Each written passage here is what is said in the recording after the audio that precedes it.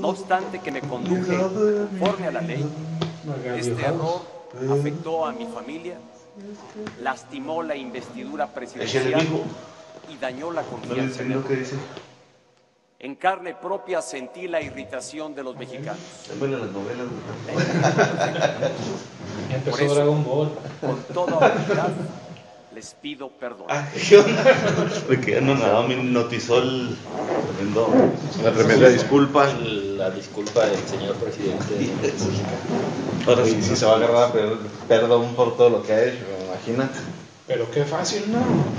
Disculpen. La, disculpen la cajeteas y lo más sencillo es disculpas y la gente se lo olvida. En cualquier otro país probablemente hubiera renunciado el presidente, primer ministro, lo que fuera que según el régimen lo gobernara en un país de Europa hubiera renunciado y aquí, ay, disculpen, este se vio mal, ¿eh? Incluso el de Islandia renunció solamente porque lo señalaron por haber este, participado en, Panama, Papers. Papers. Nada más lo mencionaron. Por, haberlo mencionado, dijo. Ni siquiera lo investigaron. Okay, no, yo me voy. Y acá nada más, ay, disculpen, se vio mal, y lo regreso a la casa y gana. y ya, ya, o sea, ya estuvo con eso, no manchen, o sea, bendito México. Pues es que no, yo no entiendo qué es lo que andan queriendo hacer con crear estas figuras anticorrupción, que se supone que todas las dependencias están para combatir la corrupción, o hay leyes, hay reglamentos para que no se presenten casos de corrupción como... ya hay leyes, ordenamientos, ya hay dependencias, contralorías, fiscalías, por todos pinches lados, sindicaturas, esa figura tan este, controvertida y pues hasta ahorita no han servido pues, para nada. Crear otra nueva entidad es engrosar la burocracia. Han, servido para, exactamente, para poner desempleo a los. han sido para muchos turistas se quedaron sin jale, pues van a necesitar una dependencia onda como ahora tanto. pero si la raza fuera realmente, o sea, se debiera portar como soporte, no necesitaríamos de ninguno. Exactamente como si ah. tuviéramos, eh, si fuéramos buenos en vialidad, no existiría departamento de tránsito. Porque todos, ahora, ahora la guerra se llama a ver cómo ahora le haces para que no te callen los de la Fiscalía Anticorrupción. Pero pues ¿quiénes están en la Fiscalía? Es, ahora somos cínicos, o sea, quienes están haciendo esto ahora resulta que Peña Nieto los gobernadores pues ponen a su compadre, sí. va a poner a tu encargado ahí, vas a fiscalizarme, pero no, y aparte, si pasas de lanza vas a ver. Aparte es ponerte un filtro legalmente. Bueno, así lo veo yo, a menos de que se analice más, es ponerte un filtro, porque como sociedad civil puedes investigar algún caso de corrupción, pero ahora te van a poner a la Fiscalía Anticorrupción enfrente para que todo el caso pase primero por ellos y obviamente se va a Ahora, ¿qué tan sano pudiera ser de que fuera, bueno, lo, lógica sería que alguien de oposición, ¿no? No hace tu compadre que te va a fiscalizar. Que sea alguien de oposición, pero también de oposición, pues con todo no sé, sí, sacaría, que sería es que eso, eso, civil. Eso se ha manejado mucho con la sindicatura que decían, es que para qué va a ser, para qué hay proceso de elección para síndicos, si puede ser el gana, gana el presidente y el segundo inmediato este pues es el síndico. O tendría que ser el síndico. y aquí en Cuauhtémoc, oposición por default. Y, aquí en Cuauhtémoc se da el caso de esta administración que está por concluir la, la sindicatura de oposición pero ya vemos que muchas veces no se basan en, vamos a hacer bien el jale, sino vamos a trabajar políticamente para mi partido. ¿Se vio en este caso? ¿eh? Sí, se vio en este caso. A mil pesos era un desmadre. Oh, vamos, Chavita Ruiz diez mil, quince mil. Y nada. no pasa nada.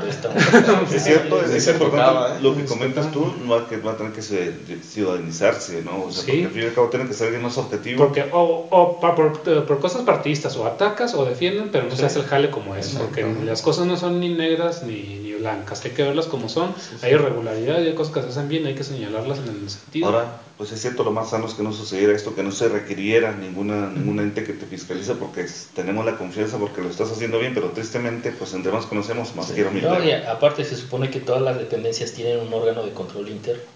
O sea, se supone que todos están bien eh, fiscalizados y que todos un ejemplo, el municipio. El municipio se supone que lo fiscaliza sindicatura. El propio ayuntamiento a través de los regidores. La Contraloría de, del, estado, La Auditoría del Congreso. Que el Estado y la Auditoría de la Federación. Y la Auditoría Imagínate, o sea, son cinco. cada dependencia tiene su órgano. Y aparte, Carlos Pena y Juanito Paredes. Y aún así. y aún así salen con sus cosas. O sea, ¿cuántas cosas no nos dicen que parecen ciertas? Que huelen a mucha trácala, pero que no tienen los pelos de la burra para poder atacar, defender o al menos evidenciar. O sea, de que hay trácala, hay trácala, pero pues precisamente quien las hace, las hace sabiendo, mira, por aquí no puede porque está blindado así, aquí no puede porque está mi compadre, entonces, ah, pues vamos a hacerla, entonces, a fin de cuentas, eh, pareciera como el, como el jueguito del gato y el ratón, ¿no? Hay que, hay que tener una figura para que la gente piense que somos muy buenos entre nosotros, pero a fin de cuentas siempre salimos a mal. México no necesita otra fiscalía anticorrupción, necesita que se aplique la ley. Pues así de sencillo. Porque si es otra fiscalía y no pasa nada, ves a los exgobernadores, exdiputados, senadores de los, de los moches, exalcaldes de todo el país, de todos los partidos que han hecho marranada y media, y andan como si la madre. Pueden poner 10 fiscalías anticorrupción, policía anticorrupción, no va a pasar, absolutamente nada. Oye, y con eso de la ciudadanización a mí se me hace, se me hace correcto, pero se me hace muy peligroso, porque, porque si te fijas aquí en los órganos ciudadanizados están los mismos 50 que están en Cuauhtémoc en tal asociación, en tal cámara, en esta otra agrupación, o sea, sí, luego se involucran los consejos. como de 50 sabios de todo el pueblo que son los chorchos o los que les gusta andar ahí, que son los que, oigan, un, un eh, organismo ciudadano, órale, a coparlo, pum, ya. Ah, pues de repente es Pancho Pérez, ¿no? Ah, bueno. Y luego de repente, ya los tantos años, oigan, pues este, ya hay otro organismo que se va a encargar de tal cosa de ciudadano. Ah, pues, oh, ahí miren, está Pancho Pérez, está Juan Domínguez, está, y luego al rato otra vez Pancho Pérez, o sea, como que estamos cayendo en Cuauhtémoc en una falsa ciudadanización. A mí se me hace que los de Cuauhtémoc Unido los de Cuauhtémoc Unidos, que es la aristocracia del pueblo, se ha encargado, qué bueno, de atender muchos problemas, pero ha copado todo y no ha dejado espacios para, para el ciudadano común, que tampoco le interesa Entonces, Ahora hay que hacer eso, obligar una verdadera civilización y hacer una, una selección ciudadana de quienes son destacados y los que no tengan cola que le pisen, sí, Dentro de las asociaciones hay, ciudadanos muy valiosos y que se van entregando poco a poco, como dices tú, así como hay una jerarquía de las asociaciones civiles de son las mismas personas, también gente que no le interesa a una madre meterse en estos pinches problemas. la gran mayoría. Y que es el grueso, y, y en los últimos años, con esto Cuauhtémoc Unido, ha venido más integración, sobre todo la comunidad menonita. Viene más fuerte, más fuerte, más fuerte. Entre ellos son unidísimos, pero ya están abriendo hacia toda la comunidad. Ya saben, participan. Y este, también algo muy importante, muchos de los organismos empresariales o civiles, que consideramos civiles, están copados por los partidos políticos. Sí, es la misma. Parmex huele a PAN, Canaco huele a PRI, Canacintra, pues no sé. Ahí no hace pues, reparto, pero... ¿no? pero sí, sí se hace caso. O sea, muchas veces las ves a los líderes empresariales muy tendidos para... Sí, sí para un partido u, otro, no nada más a uno, no queremos que un solo partido domine la, a los organismos empresariales, pero sí pasa, sí sucede. Y al fin de cuentas, como que muy pocas manos son las que deciden los destinos de, de a fin de cuentas, yo eh, cuando Javier Corral se presentó aquí con los empresarios, no sé si recordarán, eh, él dijo, para que la gente vuelva a creer en las instituciones, se debe de es necesario meter a una figura a la cárcel. Ah, okay. que, para, que realmente, para, que, para demostrar que se está combatiendo la corrupción. Que no va a ser César no, y le meto una papitas ahorita. no va a pasar eso. No, no, no Papas y soda para que vayan que hay barro. Algún patiño, algún, algún descuidado. Y un aguacate. Pero ya se repitió la historia. ¿Qué pasó con Patricio Martínez? También se le quiso hacer juicio político. lo estamos esperando en juicio político. No. iban a hacer para va a caer a la cárcel algún descuidado, alguno que sí. despistado. Va de repente. Eso que, los, los que, Un segundo, no, lo mismo que dijo Duarte. Yo no voy a ir a la cárcel porque ustedes. Así que Jaimito, Jaimito, ¿te acuerdas de la sociedad en Unión Progreso? Pues no te platiqué, te dije dos noticias, una buena y una mala. La buena es que vas a estar de socio, la mala, pues ahí te la platico cuando terminemos el sexenio. Exacto. Y cambiando de tema, hablando, bueno, también situaciones de política, media política, ¿no? Hay muchos adelantados, o sea, como qué habrán los adicionales o qué vieron de que ahora están saliendo como regalo por la de julio, agosto, septiembre, octubre. Cuatro meses antes están haciendo campaña propaganda. No, cuatro, no, y deja tú, octubre cambia, pero ellos todavía falta el ayuntamiento que, que, que fin, octubre, noviembre, mediados de noviembre, o sea. Sí, ¿verdad? ¿Qué habrá Cinco meses. ¿Qué están Te voy a regalando? decir que creo que hay, no tanto que están regalando, que si te fijas, la grilla empezó en Rubio y en que en Lázaro Cárdenas, no sabemos si alguien interesado en Sí, hay gente todavía. Sí. Pues ahí que es Pero eso, pero- seccional. Ah, este, simplemente Anáhuac tiene más presupuesto que la mitad de los municipios del estado.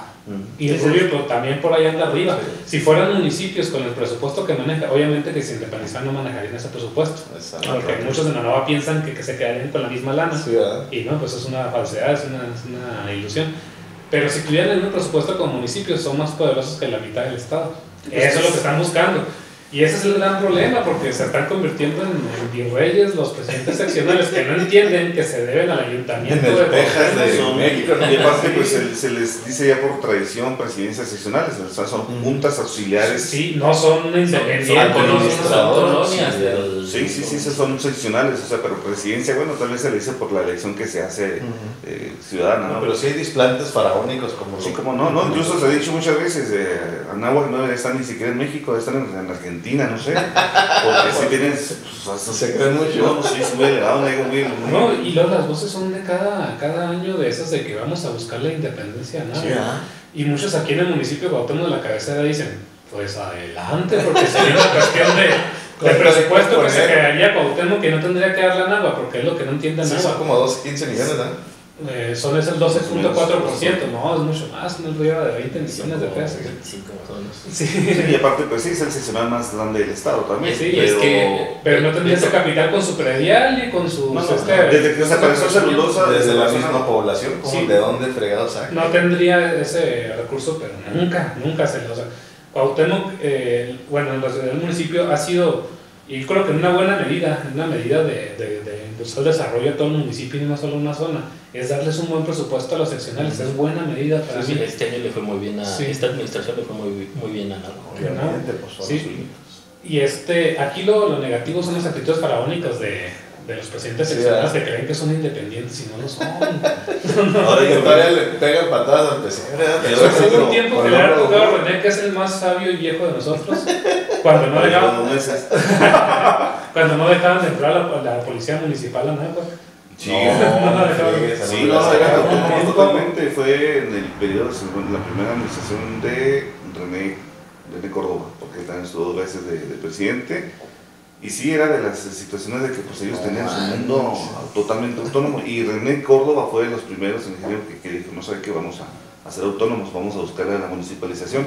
En aquel entonces estaba César Chavira, si no me falla, César Chavira. Como en 1974. Estamos, nosotros estábamos en la pinche Pues es que raperos con un vasito de soda También y le gustó día- tanto la primera que le repitieron cuatro, cuatro generaciones. Los hasta tablitos costan dos pesos.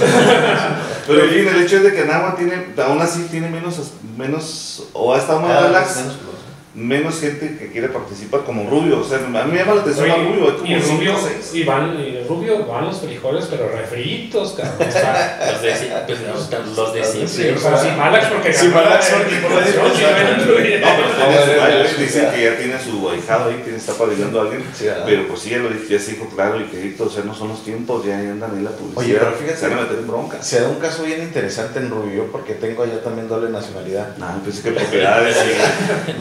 Como en el Oye, no, en serio. Hace cuenta que, o sea, la raza se aventa y, hay muchos nombres. Y algunos ya fueron presidentes, en el caso de Chabota y en el caso de Pedro José. Y otros más que las quieran. que Este, son familia de quienes estuvieron. El, el hermano del indio Chaparro que fue regidor, que fue el que andaba ahí en el. Ah, recordaban aquella anécdota, ¿no? Que andaba ahí.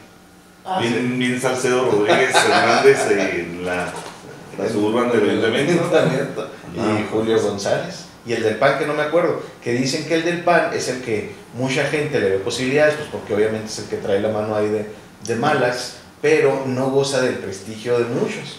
Entonces ahí como que, pues que la gente como diciendo, y alguien más, y alguien más, porque siempre hay un perfil en, en Facebook que es de veras el lavadero, estilo noticias de radio de Cuauhtémoc, en donde se ventilan todas las cosas y en donde ahí empiezan a sacar nombres, pero ahí se sacan todos los trapitos al sol. Está bien interesante medir todo eso porque ninguno de los candidatos goza de un apoyo realmente interesante, así que tú digas, no, hombre, ese ya, ya ganó. El Anáhuac, con eso algún nombre. Yo, Los Chayo sabios, dicen que pudiera ser el ungido, ¿no? Chayo Murillo, que fue el que le ganó el actual presidente Rubén Aguilera.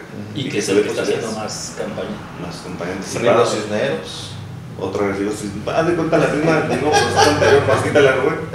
Luego va otra vez, o sea. Lo más seguro, lo más seguro que Lolo busque, quiera buscarla, pero pues sí llama la atención de que en la historia de los seccionales pues no se había visto tanto anticipo, tanto, tanto, tanta tanto gusto por participar. Y luego lo que dice, lo que dice el alcalde tiene razón, o sea, con 15 días de campaña, o sea, siendo sinceros, ¿qué puedes ofrecer como alcalde de Anáhuac?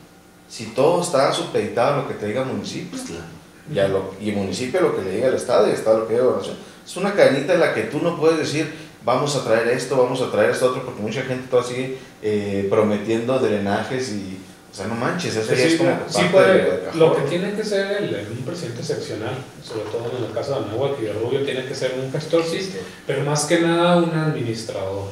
Un administrador alguien que esté pendiente de la población y venirle a decir al municipio, recordarle, hey, cabrón, no nos abandones, acá necesitamos eso. No, se te olvide que nos prometiste eso.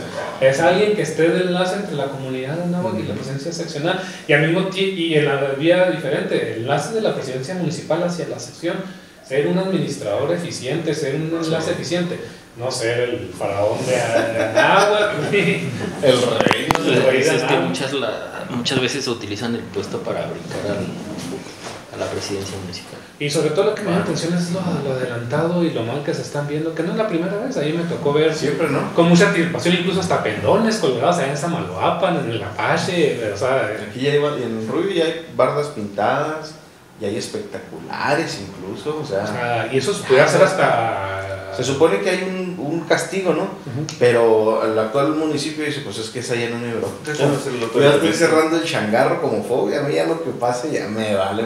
Pero la siguiente administración va a tener que ver y cuando llegue van a decir, a ver, Ah, no, pues entonces cancela. Otra cosa, y a ver, verlo, del, si bien las elecciones seccionales en el papel no son partidistas, participan para las planillas, en la realidad pues sabemos que los partidos políticos están metidos hasta el hueso. Hay grupitos iguales. ¿eh? Sí, y este y sobre todo el PRI le va a estar como fiera porque tiene que rescatar algo de estas elecciones seccionales. No, van a trabajar. ¿Qué van a hacer? Pero todos andan metiendo currículos en Guerrero, o sea, así que algo en el Rubio, en agua para llegar. Sí, porque Y le van a meter toda la carne al asador a, los seccionales, o sea, para eso. Sí, o puede ser algo que rescate el PRI local, algo que pueda rescatar, o puede ser ya su acabó. Sí, el, rubio, rubio de seis candidatos, uno del PAN, los demás son del PRI. Y en, y en el caso de Anagua, nada más hay una persona que trae el PAN y los demás, los otros 3, 4 son del PRI. Bueno, hay que ver si son PRI verdaderamente PRI, porque es que en estas elecciones pasadas, como el barco cuando se hunde, tienes unos señores que salen, pues dejaron solo el barco y se fueron con el PAN, o sea, lo apoyaron bajo cuerda. o sea, la gente que estaba entre los, los antirremelistas, los antiveltranistas, o sea, la ¿Qué otra vez Es la misma se va a repetir, pasó la vez pasada cuando, cuando, bueno, cuando gana el Oro Juárez, sucedió lo mismo, es como traían a, Rubén Aguilera, pues el único panista, decía, no, pues este va a ganar a fulano de tal del PRI, pero espérate, pues si está ganando acá el, PAN, se lo va a llevar de, de, de, calle. Es posibilidad que traes de calle sería el último clavo para el ataúd del PRI municipal. Sí, yo, yo, la verdad no veo ese escenario, ¿eh? porque yo veo que el PRI está diciendo, hay que rescatar algo, no frieguen, o sea. Pero, en realidad lo está diciendo. En el, PRI... O son los propios priistas que se están moviendo en los seccionales porque el PRI aquí local como que está desconectado de la realidad, ¿eh? No, no, a pesar, de, a pesar de la derrota. Está bien, estabas con, antes de las elecciones estaba como que en un mundo de caramelos y flotando, nosotros ganamos todo, nos la pelan, jodidos.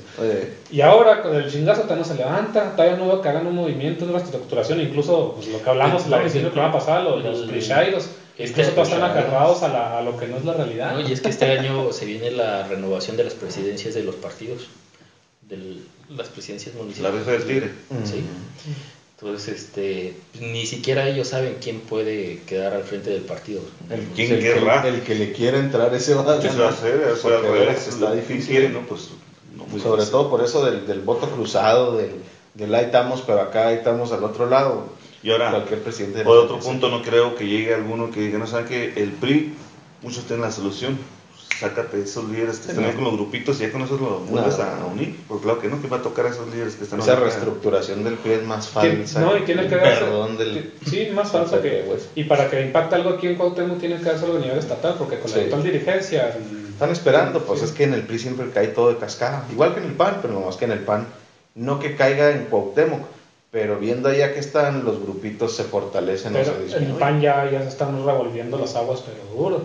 Todavía no tengo los datos así, pero sé que ya están las expulsiones a más no poder y en Cuauhtémoc se habla de decenas de expulsados. No manches, son 200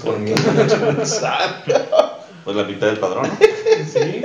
Bueno, pues esto fue una edición más de En Contexto. Les agradecemos mucho sus comentarios, sus likes, sus compartidas.